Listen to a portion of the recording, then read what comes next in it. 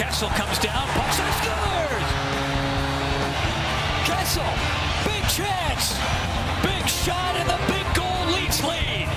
And here's Kessel with it, who leads the Leaf in goals, and he gets another one. Again, what a release.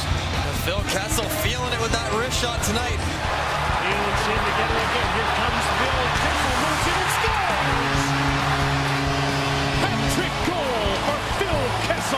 Passes off to Kessel. Kessel shoots, he scores! Bozak swings it back in. Kessel takes the drop pass, the shot. Scores!